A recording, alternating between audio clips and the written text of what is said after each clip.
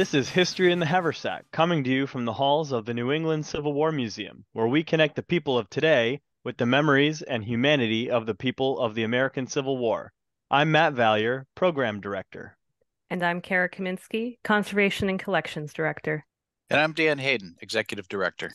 So happy season to everybody. This is Woo. our, we're very excited to bring another season of History in the Haversack out to the internet. And we are joined tonight by a couple of guests. You've met them before. We have Frank Niederwerfer and Wayne Buckmir. Um, if you guys want to say hello really quick. Hi, I'm Frank Niederwerfer. I reenacted with the 14th Connecticut. Started my 25th year reenacting. Wow, that's awesome. And I'm Wayne. I'm the archivist at the New England Civil War Museum. The owner Great. of the most splendid mustache on this call. Yeah, always get the comment of "I can't believe you're not reenacting with that mustache." it definitely fits. This evening we are going to be talking about living history and reenacting to kick off the season because most of us on here have uh, reenacted at least once, if not too many times. Dan, if you want to kind of start us off. Yeah, sure. So, just what the heck is reenacting, right? Reenacting living history and we kind of use those words interchangeably, right? Because we do a lot of that stuff here at the museum. And you know, a lot of us within the network are one of the two, right? Or or both, or however you want to define it. So we can have some fun discussions about what it means. But in short, what we're going to be talking about is basically in-person portrayal with the clothing and the equipment and the accoutrement of people from the Civil War era. Most of the time, you see that as people who are portraying soldiers. Sometimes you see sailors and actually Cara, I think, is the only one on this call who has portrayed a civilian between all of us here. So there are people there that display collections of artifacts or reproductions of things and they sometimes are first person where that means you're talking as if you are somebody from the past a lot of times it's we do third person which is yeah we are actors in this grand play that's happening so in short they're the crazy people that wear the old silly looking clothing not costumes, right? So we got to get into that. We do, we do not wear costumes. We wear kit. So how many kits do you have, Matt? Oh man, too many. Are we including every war and era that you portray? yeah, that's that's the thing. If we're just talking the Civil War, I, I I'm still up there. I mean, uh, that's what 15 years of reenacting, I guess, and just nonstop collecting will do. But I, I don't even know. I don't even think I could put a number on it. Do you want to take a moment and go count? no, no, no, no. That's okay. Uh, I'll I'll estimate. I think I have five Union Army kits, and I have like some pieces of Confederate kit, but I don't really kit up as a Confederate in my own personal choice there. But um, I love hats though. I have way too many hats. I actually couldn't count those. So, so Frank um, has probably portrayed everything from beginning to end back again several times. Because even when I started, I was borrowing a lot of Frank's stuff. I stayed pretty much in the uh, Union soldier, private corporal, sergeant. I haven't gone as crazy as that half of you guys have. Oh, so you don't have a you don't have a Zouave kit or a, no? I uh, don't have a Zouave kit or, any, or a cavalry or... hat. there you go. For Very a reason, good. I bought that. I have no idea. yeah, Dan, how many how many kits do you have? So I can portray a private, a corporal, first lieutenant, a veteran as a Grand Army of the Republic member, and then um, all the variations. I do have a Confederate uniform that I did buy at one point. I think I have one picture in me of it. It's portraying one of my Confederate ancestors, just to put it together there. But uh, vast, overwhelming majority of stuff I got are federal impressions. Now, uh, Cara, on the civilian side of things, how much kit do you have? One. One. The only one it. you've ever seen me in. I made it specifically when I started working with you guys for the Living History Days because I, I sewed a lot of stuff before and then was like, oh, that would be a fun thing to try and make. Very difficult to make very fitted clothing, especially for like the women's clothing at the time. But yeah, it was fun. Now you bring up a good point because a lot of this stuff that we have is handmade. There's vendors that are specifically out there to make handmade stuff and you know we sometimes sew our own. It's kind of an odd little circumstance in that you learn how to sew when you become a reenactor and it's true to history right? Because a lot of these guys they didn't know how to sew until they actually took the time to learn out in the field because they didn't back then they would um, at home you'd give a ripped piece of clothing to your sister or your mother and they would be the ones that would darn it. But they weren't around in camp so a lot of these guys had to carry a needle and thread and uh, in a little container called a housewife oddly enough. You know they carry needle thread extra buttons and things like that. So when the uniform did rip or uh, they needed to patch something, then they actually had the equipment there to make it make it work. Yeah, definitely buttons are the the number one thing I think most of us have probably sewn, if anything at all. You like a story I have when the, this is the first re- big reenactment I ever went to Antietam. So I got my, uh, you know, I didn't get a lot of help getting stuff together. So I go there. I'm in the tent for registration Guy says, ben, you know, I had to bend over to sign the thing.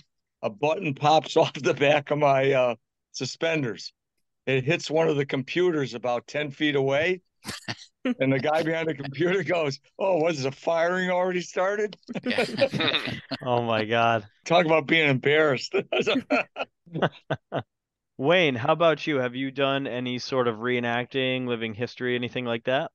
So it was always something I was since I was always big into history, like my area of expertise, even though I'm working at the Civil War Museum, my area of expertise in history is the Second World War. I did like the idea of reenacting because you can definitely get some cheap stuff out there, but like as soon as you look at one of those like cheaper items compared to like someone who's actually hand making it with like quality product then the price starts going up and i'm and every single time i start looking into it i'm like i don't know if i can really afford to go all kitted out. In my lifetime i at least want to say i have to give it a shot. So matt how would you define the difference or is there a difference between reenacting and living history? Yeah, I mean, you could argue that they are the same thing, and you could also argue that they're different things.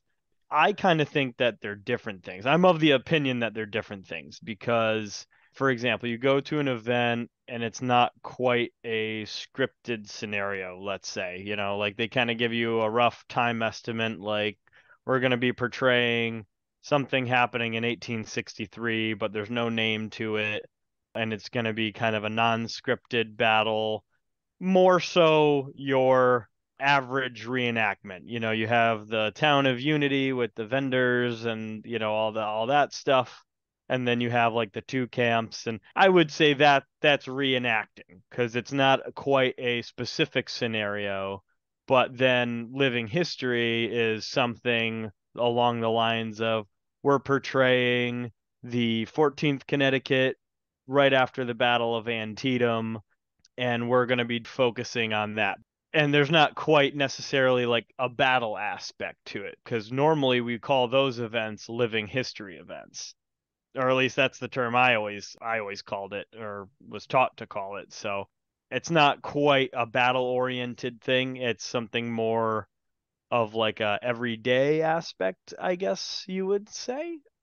That's just my own opinion that's interesting because I thought you were going the opposite route there. Because the way that I understand it is living history is like when you think of Sturbridge Village or in the past when Mystic Seaport had interpreters there in costume er, costume is the museum term. But if I saw people on a battlefield, that's a reenactment. Living history is when you're doing more of an education aspect rather than the theatrical, for lack of a better term. Yeah, I, I think I think that's what I was trying to get at, and I okay, never mind wording it correctly. So you definitely said it a lot better than I did. that's uh, that, that's what I mean. Yeah. And one thing you can look at, living history has such a wide spectrum of events too, because you got the yeah. ones like at Sturbridge Village, at the historical thing, versus going to like what Dan and I did at the 147th New York at Gettysburg, which is a living history, not really a reenactment, where we went for a six and a half mile march across Gettysburg, stayed there for a couple days, and did this for the spectators and stopped. The person would talk about where we were at that point in the battle. We portrayed the 147th New York and a real time event onto their part of the battle. You know, that's a living history also. So there's a wide spectrum there. Yeah, exactly. Maybe a yeah, better way to look at it is that living history is everything and reenacting is a part of living history. That's the way I look at it is that the big umbrella is living history because what we're trying to do is embody or portray a piece of history like uh, of of the living members of history. So whether that be in camp whether that be on the home front whether that actually in combat it's all living history because you are making it happen three dimensionally four dimensionally whatever in front of you reenacting is you are trying to recreate something specific to me. This is how I look at it. The perfect example for me is the very first reenactment I did was at Spotsylvania. In the morning, we did something that was okay, we know that the other side is out there and we're going to maneuver and we're going to meet them and we're going to react in ways that the people at the time would have reacted. And later in the day, we recreated the Battle of Saunders Field. So we were a specific regiment doing the same maneuvers they did at that particular battle with an opposing force that was doing what they did. And we were recreating it to the best of our knowledge what would actually happen. So to me, that's that's reenacting. You are reenacting something very specifically now, we could say, well, if you're in camp, you're reenacting being, you know, a soldier in camp, but we, it doesn't really matter, I guess. But I, I guess it turns into uh, everybody knows us as reenactors, but we like to say living history a lot because it sounds a little bit more sophisticated. And the difference would be in camp, you don't necessarily have all those details like a battle that are in the historical record. So you're more so doing your best guess at what they would have, even if you're portraying a specific person, what he would have been doing in camp. Well, see, there's another great point in that there's arguments as to whether the combat that we do is actually realistic or authentic or even a lot of times appropriate, right? Because what we're simulating is people trying to kill each other. And that's where you see guys, what we say, taking hits, right? Where you fall down and pretend that you've you've been shot. It's more like that Shakespearean play where it's like, oh, I am slain, and you fall to the ground, right? When in reality, the battlefield was a horrendous place to be with human wreckage all over the place. And so what we do doesn't even scratch the surface of of that well, and I'm sure we'll get into this, what comes of that, that those experiences that we have during those combats are very memorable and very moving in, in some places. But you're right, Cara, in that, you know, we a lot of it is best guess because even though we would know basically what happened during a particular battle. We don't know all the nuances and all the specific little things that happened. When we're in camp, we can get pretty darn close with details and you know from their their diaries and their letters and talking about what the things that they carried and the things that were important with them and how they did certain things but it's more of an approximation of what a day would have been like at the time i told you guys uh, a couple i think it was like a week ago or so uh, I was diving into a, a diary of a man from the 11th Connecticut, and he wrote down pretty much the activities of every day from the time he enlisted until the time he was no longer in service. And there are days where, you know, for example, September 17th, the Battle of Antietam, he calls it, and he goes into everything that he experienced, all of that. And then there are like the very minute days where it's like pleasant weather, warm, AM battalion drill, reviewed by the lieutenant colonel, posted for sentry duty, received a letter. I think those are moments like that when we're out there, we find real connections with how we felt doing this reenacted and, and then, you know, the original cast doing it. and getting as close as we can. And I think it's, it's very rewarding for me to to have a certain feeling. It's like, you know, I'm hot, it's sweating, I'm not particularly enjoying this. And then you go and read that in an actual, you know, diary of somebody saying along the same effects. But obviously they had to experience that day in and day out and we're doing it for really at most a day and a half looking at the timeline of an average reenactment how many times frank have we been at a an event right. where we're like you know what we're just we're gonna sit this one out we're really just gonna sit there right let's go home saturday night i'm out of here. Because inevitably like the officers are training too because they're you know these yeah. are th- not things that they do all the time and and actually that is another level of authenticity and we've got a quote up in the camp of instruction part of the museum that talks about just that. Their officer is trying to figure out these very complex drills at the same time Stephen Walkley of the 7th Connecticut Infantry. He wrote this in his uh, in his letters. One company commander of high intellectual ability and scholarly attainments could never drill his company. They were frequently out of place, and Colonel Terry's patience was exhausted in trying to make them execute the proper movements without leaving a ragged gap in the line. Colonel Terry once said, Company, can't you ever come into line on time? Yes, replied one man in a sotto voice, low voice if the captain would just go sit on the fence. That's amazing. If you you know you read these things and you understand why they had 10% desertion. And think about the times like we talked about, let's get out of here. What are we doing? why are we here? Why are we in this stupid hobby? it's so easy to talk your other friends into doing it too at that yep. point. They're all beginning to say, Yeah, what are we really doing here? And all of a sudden everybody people leave. it's like it's easy. that's that's the modern person escape that we have, right? We yeah. know in the back of our minds we could just be like, you know what, hell with this. We're gonna go jump in our car and drive home. But those guys didn't. There was either stay in camp and deal with it or run away and deal with the consequences. I left that event a day early after three days. My ride was attacked by ticks, and he had nine ticks around his waist, burrowing wow. into him. And he wanted to leave. So what was I going to do? Stay there and by myself? go with my ride. The end of the event, you and your ride get noted down for desertion. Well, there was you're right. We were basically did. Skedaddlers. Something funny that we do as reenactors, like uh, we'll we'll note the guy who in the middle of the night walked out to his car and slept in his car when it's, it's kind of cold outside. They'll come back in the morning and be like, "Oh, how was it?" Uh, you know, we'll give him grief. But we do that to a mild degree. I mean, we don't like punish them per se, but we do no uh, we do squad. criticize we, we do criticize them definitely not as much as how they would have originally in the actual civil war those guys you know would have had consequences brought against them i think that's interesting that we do that without even knowing it where we're right. doing something that they yeah. did originally because they you know their comrades would have berated for running away and not sticking it out with the rest yeah, because there's that component there of, you know, we're doing it. Why aren't you? We thought we had something here, right? Why we're all doing this together. When you see somebody not living up to whatever you think is the standard, then it's you look down on them, right?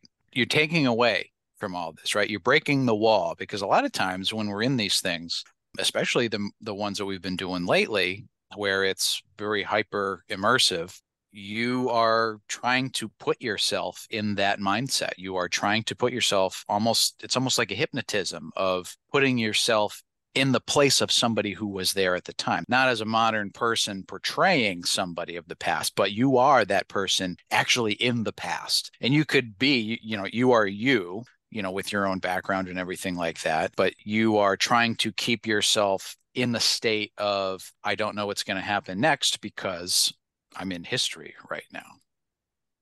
What is the moment if you were in tunnel vision, you felt you had actually time traveled and experienced something genuinely to a degree, of course? I want to mention one about Dan because I almost saw Dan die in front of me. oh my God. yeah, that was very realistic. Dan's sitting there and he, he didn't have a clue where he was anymore, I don't think. We did, but I don't think Dan did anymore. Yeah, it was the 147th New York portrayal. After the six um, mile march. So I, am also, you know, 40 pounds heavier than I was I, I am yeah. right now. So I didn't realize it, but I had high blood pressure, like all these other things that the same. So six and a half mile march. We started in camp at the Slyder Farm on off the Emmitsburg Road in Gettysburg, and we picked up the march at the time when the 147th New York would have been marching by that spot. So we stayed at, on the national park you know with the with the permission of of the park and the organizers there so that we could pick up at the right time rather than staying at marshy creek a few miles further down where they actually did stay. So we picked up at that point which is about seven o'clock in the morning. We marched up the emmitsburg road. We got to the Codori farm. The temperature's rising because this is like july 1st we're in frock coats like the long length padded coats, and we're wearing the Hardee hats, the uniform hats, which are basically are ovens that you wear on your head. And crossed the fields, got to Seminary Ridge, walked up what is now West Confederate Avenue, and then um, we went to McPherson's Ridge, crossed the rail to the railroad cut, and then we deployed.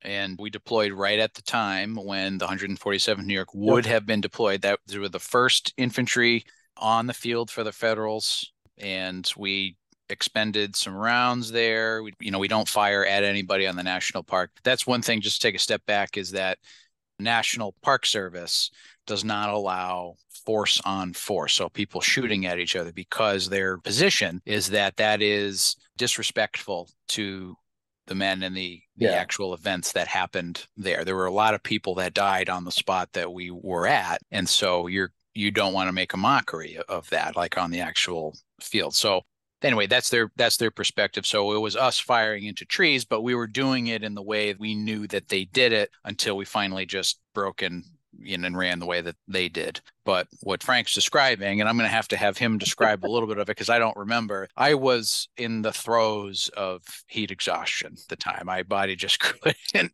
take anymore. I made it to the very end, but it was what what what happened to me that day, Frank? No, we got the picture to prove it. Oh, I, I said, Dan, hey, look it, we're going to take a picture. It was you, your brother, and me. Dan just looking, he didn't even know what was happening. We had the picture taken. I asked this guy to take a picture of the three of us, and your face is like out in space somewhere. And then we got yeah. you to my cousin's house. We remember we were supposed to camp out that night again. Yeah. This is a group of 150 guys. Only 70 to 150 guys made it to that spot. This is realism. 80 of them dropped out, just like stragglers all over the place. It was very realistic looking. And these guys just falling out and stuff because of the heat and stuff. Very bewitching yeah. picture of me. Oh, it was. I, it was a great picture. Completely drenched. And I remember having to pick up all my stuff. As soon as we broke, right and when the scenario was over i think there was a trail of my equipment from the field to the railroad cut where i finally just like collapsed and i had the canteen yeah. over my head just pouring on my face but let's go back to realism there right so we know that probably about half those guys in that march on that day dropped off because of heat exhaustion because they yeah. didn't have the water we were really lucky in the way that uh, the organizers put this together, we were constantly topped off with yes. water.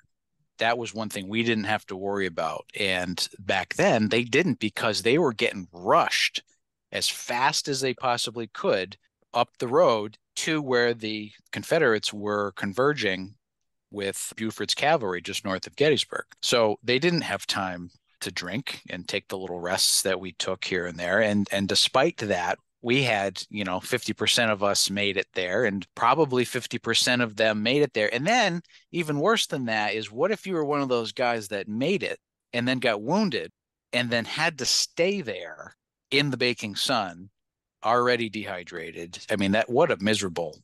I mean, so that's yeah. that's the point where it's like, okay, I lived through something that I know somebody lived through, and it gives you this appreciation for the physical toll that this took on those guys. A lot of times is when you, you read in these accounts of the battle, it's so the 147th New York broke camp. They marched up the Emmitsburg Road and then they deployed north of town with the rest of Cutler's brigade.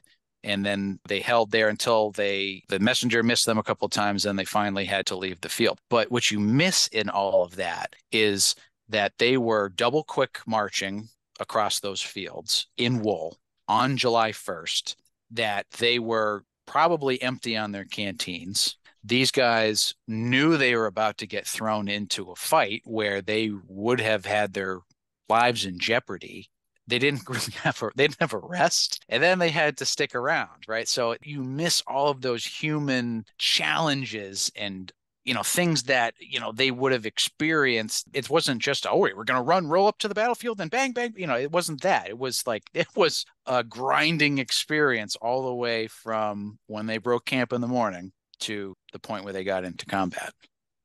How much were you carrying and wearing that day that when the 147th was moving that those guys would have been like I can't carry this. Like I'm discarding this for the time being, and like if anything, gonna pick it up later. But like you tried going the whole way, or were they literally all the guys kept everything with them?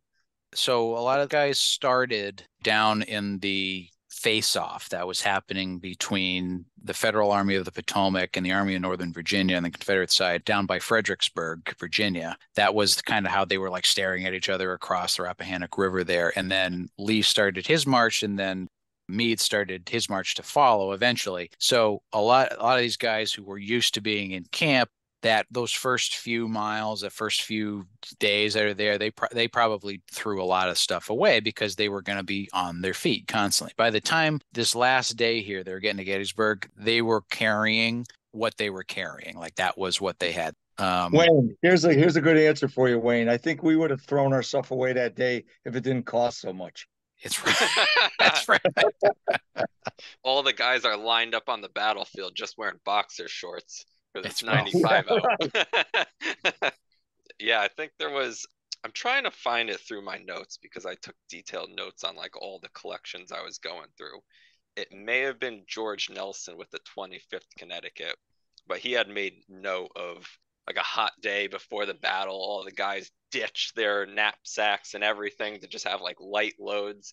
But then by the time that they were like after the battle, they had like to wait around the area. And then finally, when they were able to like go back to camp, all their stuff was rifled through.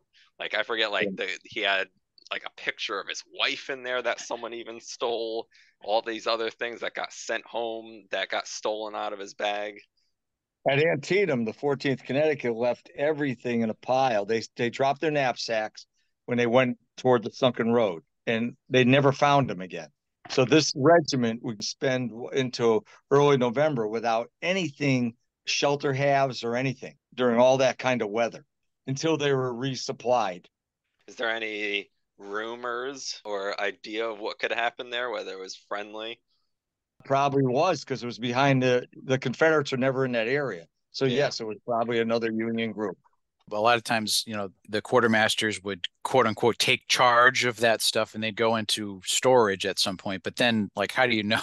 Like who who keeps track of where those things are, right? So you may not be getting the same stuff over again. So by the time those guys got resupplied, it, it was when those guys got resupplied basically at the normal cadence when these guys would have gotten their new issuings that it took mm-hmm. them to get any of that stuff again towards the end of these guys' service, some of them will actually say, you know, at this point we knew better than to get rid of our equipment because we know we never see it again. Dan, did you have, uh, you know, I, I, threw your death experience in there as uh, your moment, but I don't know if you've had some others uh, yourself. Oh, yeah. It usually, you know, what I, I realized is that it is associated with a moment that you have the fight or flight experience, right? You, something happens where it's sensory overload. And even though you beforehand, you know that you are safe as a kitten and you, you know, you are there not actually about to be killed, the sound, you've got muskets going off around you, you've got the cannons, those are big explosions that happen around you. The officers are screaming and swearing at you to try to get you into line and to listen and to follow. And things are happening very fast and you're out of breath and it's very hot out. And you got these guys over there that are pointing weapons at you. It can be very sensory overload. And so your natural instincts take over at some point and you you start to go like all right what do i do what do I, I mean i've practiced this a million times but what do i do because you just sometimes it's like that's where fight or flight takes over so i have a few moments of those where one of them was Casey's Redoubt. We were in the redoubt as you know federal troops, and the Confederates just come screaming out of the woods, and they go down into the the ditch in front of the redoubt and then they start climbing up over the walls and they just start pouring over the, the fortifications yeah. and you're like oh oh my god oh my you know they're they're coming and there's nothing we can do about it and so and then everybody is somebody remember somebody says run for it and the other moment from that particular event that sticks in my mind is Gaines Mill when we were portraying the I believe it was the 4th New Jersey where we were at the top of the ridge the Confederates were coming we didn't know when. And then all of a sudden, you hear about a thousand voices give the rebel yell, which is this high pitched scream basically out of the woods out in front of you and it reverberates off of the hills and you're just like it's one of those things where it's the unknown right you've got these yeah. guys in front of you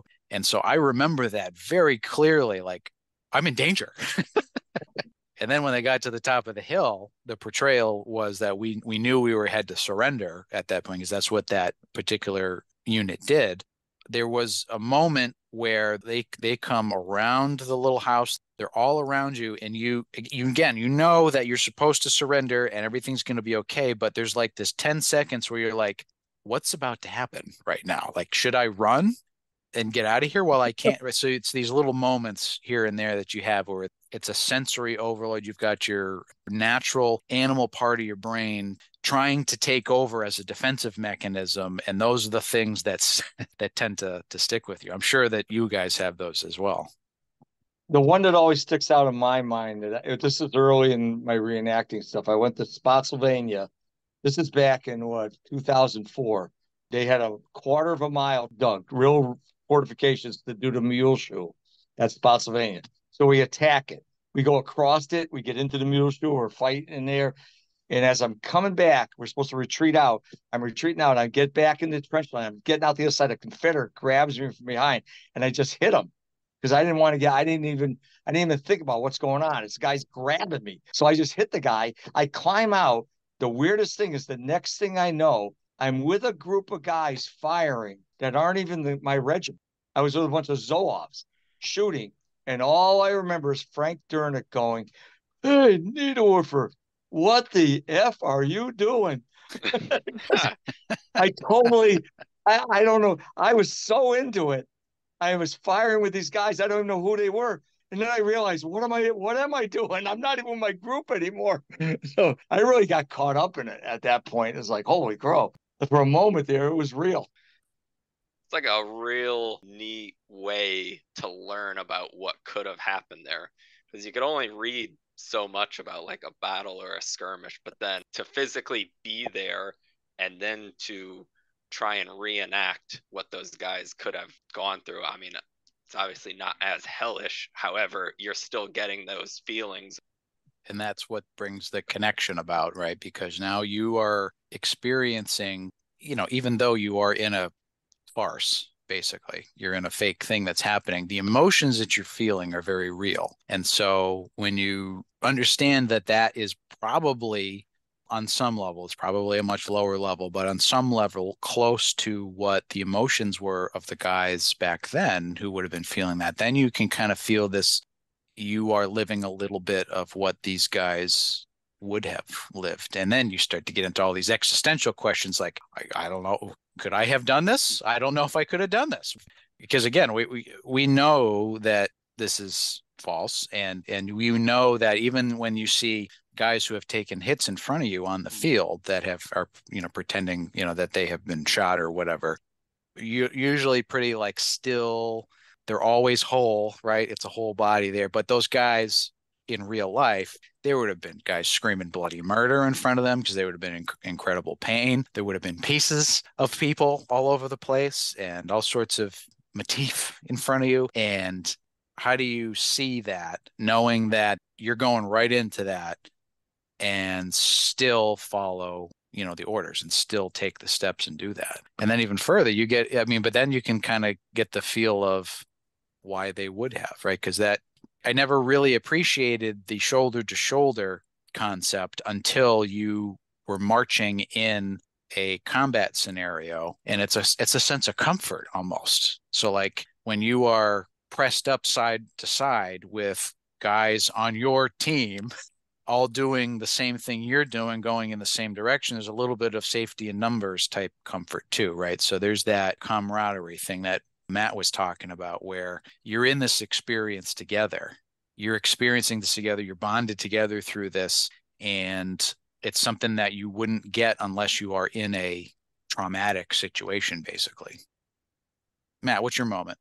My moment was in june when my buddy and i josh we did the Petersburg event that the Liberty Rifles put on. I definitely think one of two moments that I had that really kind of put me in tunnel vision were the first night after we had formed the regiment and stuff like that and you look down and like you have pretty much the the full strength of that unit. I mean that was something very cool that I've never seen maybe a couple times at some of the bigger events but still like it was very divided up at those bigger events this was just one unit. After we had been marching a while through the woods, it's like dusk. They formed us up on the road, had us stack arms, and then they just told us to fall out and we're going to camp here for the night.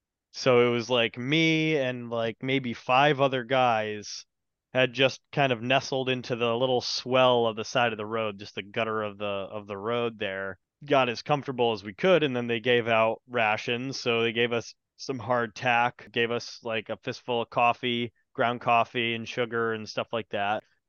Gnawing on my hardtack, I was just like, wow, this is very real. And then to look down the road and you had guys like starting little fires or putting candles out and stuff like that. And then to just fall asleep that way, wake up the next morning and well, wake up the next morning after I woke up four or five times in the middle of the night. The sun came up, we and then we kept marching that was definitely a very real experience for me. And there, there's nothing about that moment that didn't feel real at all. And then I think the second part of that event was when we had cleared the field that we were going to be digging our trench in.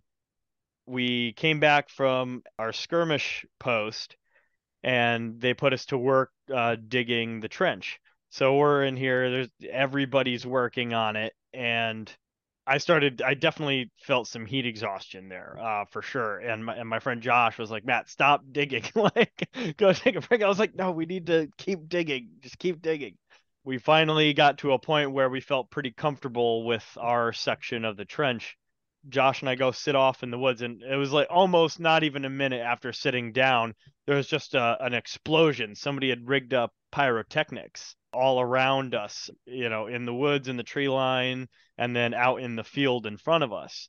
We're sitting down. I'm finally like kind of getting a breather, and then all of a sudden just poof. And I think all of us kind of took a minute. We were like, "What just happened?" Because you could hear the cannon off, like a ways off. They had had uh, like a handful of guys portraying Confederates uh, as skirmishers, and then they had a, a crew of artillery off in the woods, a couple cannons, and so you'd hear the like poof, at first I was like, is there like another event going on out here? And then uh, all of a sudden, just boom, you know, there's there's an explosion in the tree line. And so, you know, the officers are like, come on, guys, fall in, fall in. So we, we get into the trench and we start firing some volleys. We, we aren't seeing anybody, but they're definitely out there because the shots start ringing out. Some more pyrotechnics go off.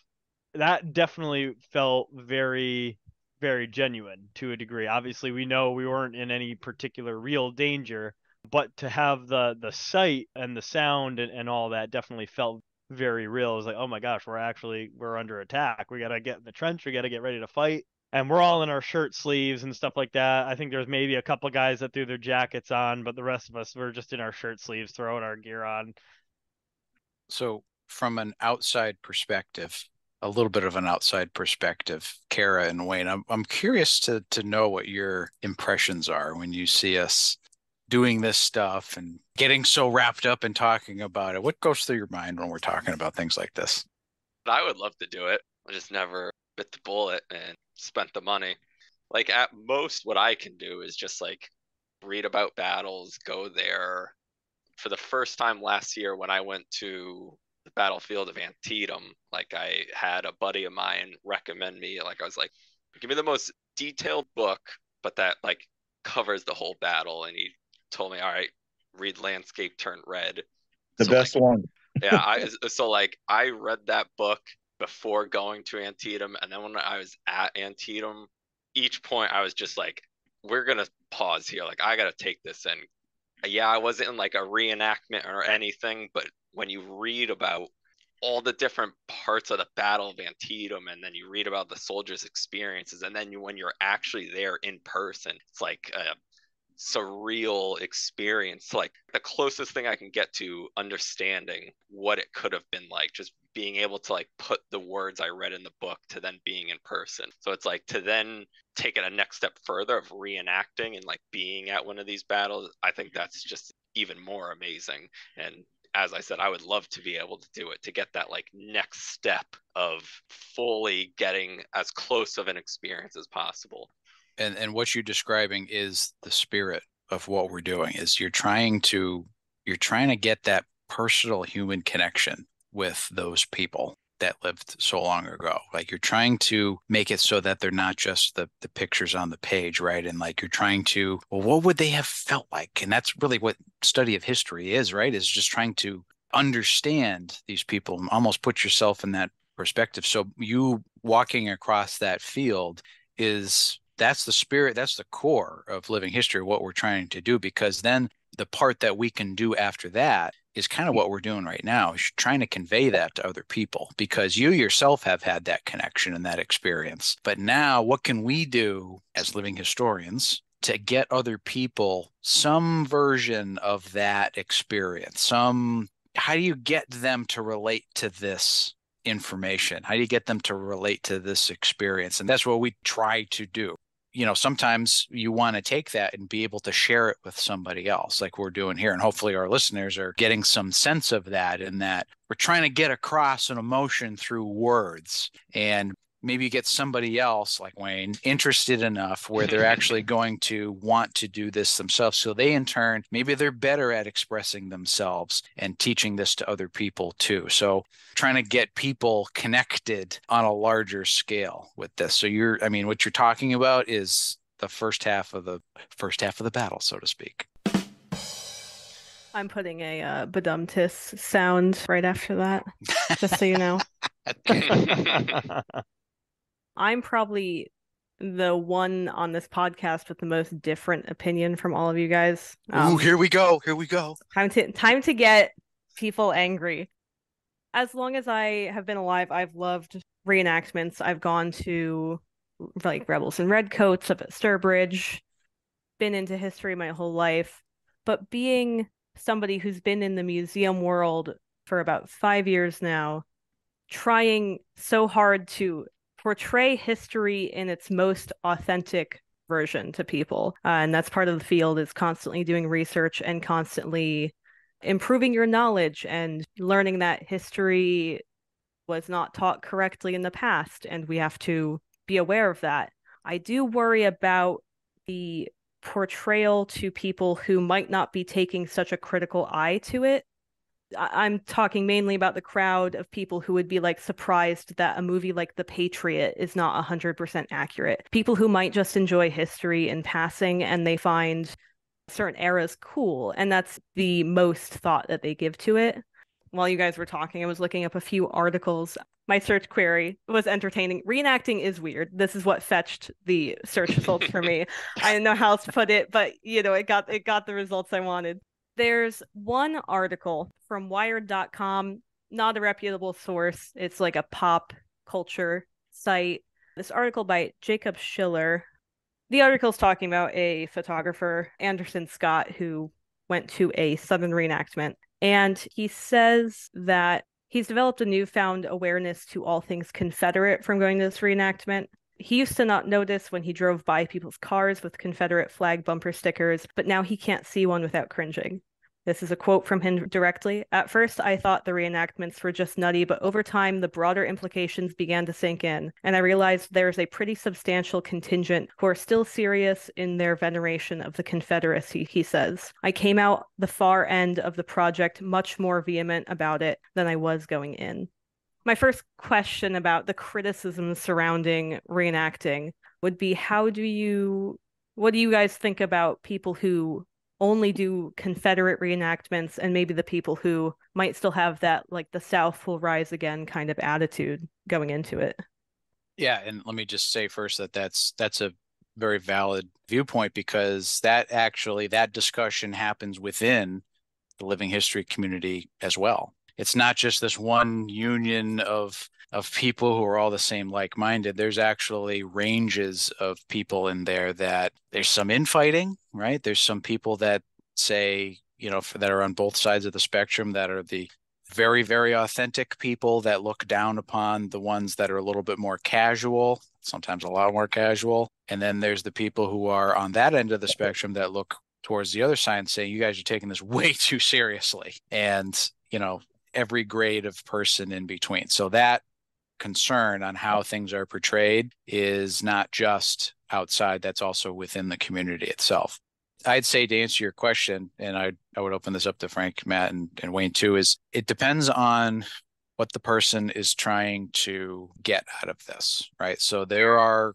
people who are motivated by certain parts of this. So let's say racial. There are certain people who get very into it and believe one very narrow viewpoint about how you know the confederates why they fought and what they were for and what society would have been like. And this is their way of being amongst people who might be inclined to do the same thing. But that doesn't mean that there are people in there that portray confederates that aren't doing it for the opposite reason which is what you're trying to do is show somebody that's real. You don't necessarily have to agree with everything about what they were doing or why they were doing it, but you're what you're trying to do is give somebody else an opportunity to see fourth dimensionally what this person would have been like what they look like how they would have acted so it's a it's a level of education that you just wouldn't get if you're just reading a book so there's a lot of units that will we use the term galvanize, right? It's an old term back from the Civil War, but essentially they don't portray a particular unit. They're constantly portraying different units on both sides because of that approach. They want to show you what these guys would have been like good, bad, indifferent, one side, the other side, the other. And and if that's the intention, I think that's that's right on. I portray almost exclusively federal because that my home unit is a Connecticut unit. I live in Connecticut. I have over here and you know, there's another element of nowadays it takes a lot of explanation to get across that I, you know, if I do want to portray a Confederate soldier, I'm not doing it because I believe that black people should go into slavery or, you know, that they are a lower member of society, right? It takes a lot to do that. So in the position that I'm in, I, I when I do the portrayals, I'm doing it from a federal perspective because that seems to be the best way for me to get that connection with people of today to get them to draw them in to be able to explain to something which on the human level how the citizen soldier would have experienced are common to to both sides. Because if i can get them in and talking about connecticut soldiers i can start to say well you know on a person level, the Confederate soldiers experienced a lot of these same emotions and feelings. They were they missed their families. They didn't necessarily want to be there, but they're doing it out of duty, right? So you can draw some parallels in there. And the more we can get people talking about everything, how connected everybody actually was, the better we are with staying away from an us versus them type scenario, which is never good for society. So anyway, that's my little perspective on that. I, I agree with uh, a lot of what Dan just said there. I think a lot of guys, um, there's we see this with these units. They're portraying both sides because they are just trying to portray the soldiers. A lot of the Confederate guys that I've run into, for some reason, I maybe I've been lucky in a lot of ways. I don't, you know, I've never ran into too many of them that are like motivated by uh, racial reasons or whatever. A lot of the Confederates I seem to have run into are doing it because they want to portray their ancestors. They have that pride in their ancestors. And I have no bad feelings about that because I have pride in my ancestors. So if they have pride in their ancestors, they do. Well, if it's a bad reason, you know, I, I'm sure there's some out there that have, you know, their intentions are, you know, uh, South should have uh, won the Civil War. They said, you know, should have had a different society. Well, that's their reasons. Then I I can't justify that or can think about why. The guys I've run into seem to most of them they want to portray their ancestors, or they're doing it for what Dan just described. You know, they're just trying to portray how those soldiers lived and stuff this is my own personal view. I just I don't feel comfortable portraying a Confederate soldier because my third great uncle in law was killed by a Confederate in battle. Not that I'm, you know, railing against the Confederacy for that because obviously I didn't know this person, but it's somebody relatively close. I just I personally don't feel comfortable portraying uh, that. You know, now, yes, I do have a Confederate uniform. Eventually, I want to have that in a place where bringing it to, let's say, Living History Day, like I, uh, my friend Josh and I did, having a Confederate uniform to compare to the Union uniform in the material culture. I, I definitely feel comfortable with people doing it in a respectful manner and not in a I'm doing this because South should rise again or anything like that. I like I like when it's done in an educational aspect. We're showing you these guys that were on this particular part of the battlefield and this is what they were wearing, this is what they were doing, and we're going to recreate their movements on the battlefield or simulate uh, that combat in a as respectful as we can do it. Uh, that's that's how when I feel it's most comfortable, and I and I enjoy being on the same field with those individuals reenacting a battle or doing a living history event when it's coming from a uh, a place of understanding. On to another criticism. The second most popular criticism that I found. This is from salon.com. Yet again, not a reputable source, but these are all opinion pieces, so that's the kind of fare you're going to get. By Glenn LaFantasie, this one's a little long winded, so bear with me. The Civil War as entertainment was something that particularly troubled Bruce Catton, the Dean of Civil War historians during the 1950s and 1960s. At the start of the Civil War centennial, Catton warned, quote, we are in serious danger of taking the most significant anniversary in American history and using it as a means of giving ourselves a bright, colorful holiday. How the Civil War soldier fought his battles is no doubt worth examining, but infinitely more important is a consideration of why he fought and what he accomplished. Lay on the sentiment, the romance, and the dramatic appeal heavily enough, and we shall presently forget that the war was fought by real living men who were deeply moved by their thoughts and emotions of overwhelming urgency. Unquote.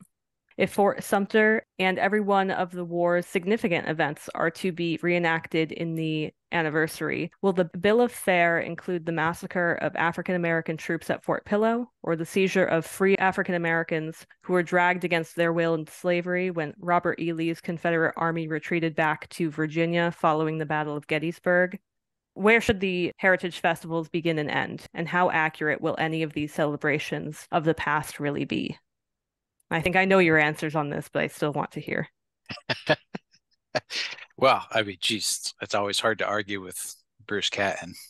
You know, what I take from that is what we're doing is we're portraying slivers of life back then and slivers of the full range of, of events that occurred at the time. And are these little snippets here enough to be representative of everything that was going on so that people get a complete picture without going into the real bad components, the tragedies that occurred during the war. And I can see the merit in that, right? Is um, we know how to do certain things here. But what I would say to that is that what's in our power to do and what if people really were exposed all at once to the full tragedy that was the Civil War on society and, and human life, it wouldn't grab people the way that we want them to, right? We what we're trying to do is create a connection that isn't there right now, right? So somebody today might not have any connection at all or re- relatability with people who lived 160 years ago during the war. And so if you come on real strong with all the real bad stuff that happened at the time, you're never going to get them again, right? And they're just going to turn a blind eye and they're just going to go on with their lives and they're going to miss this connection to the past and, you know, skipping ahead to what are some warnings that we can get across so that things don't reappear again in history, right? So the way that we can do that is in a gradual format. To me, it's like, okay, we can do this in a way that we know is respectful and we know what we can do is going to be authentic. You know, we try to stay away from the real theatrical stuff, you know, the crazy, overwrought type things, and really more about the everyday type things so that people kind of feel that connection. So, yes, he's right in the we are missing some of the some of the things at the time but again the, the civil war is an extremely complex time of of our history and you can't possibly get it all in one sitting and if you tried to you would you would inevitably skip over some things and you would or you would just completely turn people off. So i i think what we can do in living history is get is be that gateway right? Is be that the beginning of a connection that somebody might use as a springboard to look more into into history and some of the things and eventually they will find out all of the components of of the Civil War, good, bad, and and indifferent, one way or the other. What we do at the museum, the reason we're talking about this is we're using it as a tool and a method to try to connect people with those of the past. So if we didn't feel it had the value to try to make those human connections between people, we wouldn't do it because it, it wouldn't have, you know, if we didn't feel if it was appropriate. But it's a great engaging way to get people interested, if only for a few minutes, into what we believe is something everybody should have a connection to, which are the human beings who lived 160 years ago. Thank you very much for joining this this episode of History in the Haversack. To keep you updated with some events going on, uh, we're going to have Clark Hall coming on February 1st to the museum giving a talk on preservation efforts starting around uh, the 1980s and how that's progressed uh, until today. Also, just keep a lookout on our website. Uh, again, that's New We're going to keep an updated list of different events and talks and other things going on at the museum on there. So make sure you're looking at that. Yeah, we're also finishing up a fundraiser here. We could really use everybody's help. Um, we're at the last moments to f- continue fundraising for the Seth Plumb uniform that we're trying to bring back to Connecticut so that we can portray the life of Sergeant Seth Plumb, who was from the 8th Connecticut Volunteer Infantry Regiment. He was killed at the Battle of Fort Harrison towards the end of the war. Uh, we have the opportunity to bring his uniform home, uh, which is, includes his uh, frock coat, his cap, his sash, monogrammed handkerchief. We have a nice charcoal picture of him that we uh, would get with this lot. So, and we're very close to the end. We just need to be able to push it over the, the finish line. So, if you could check our website out for the link to be able to donate for that, we would really appreciate that. Or if you would like to even join as a friend of the museum, we have a friends program here in a few different levels to join. Uh, there's going to be some friends only benefits to be able to partake in if you you join with us that really helps us complete these fundraising efforts to be able to put new exhibits and new interpretation and bring new speakers to the to the museum for for the public that we try to get for free here. We'd like to thank our guests this evening, both returning Wayne Buckmir, our archivist at the museum, and uh, Frank Niederwerfer for joining us this evening. Thank you very much, guys, for joining us. Thank well, you. You're, you're purchasing we... your uh, kit, Wayne, right? Uh, I'm gonna have to do my own fundraising for that one. That's the next soon. one. Yeah. All right. Thank you very much again. We'll see you next time. Catch you on the next episode. Have a great evening.